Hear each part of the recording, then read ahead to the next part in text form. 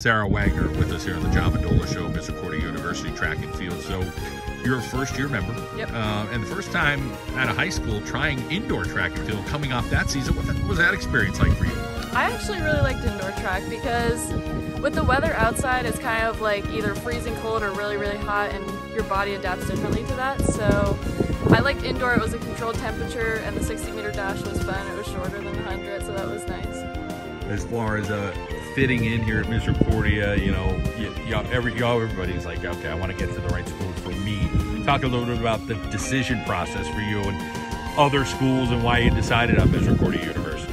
Well, Coach Wattis was really good at reaching out to us and like making us feel already a part of the team before we even got here. And a few of the upperclassmen, I know um, Jill, she's a jumper, and so am I, so she really made it an easy adaptation.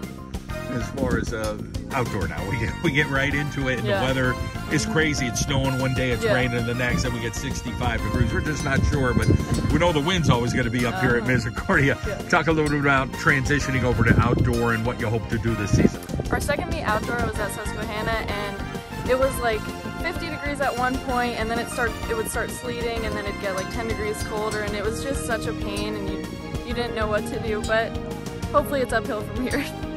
As far as uh, you know, just honing in on the events that you really like. What are the one, two, three events that you say, okay, these could be staples in my career here at Missouri?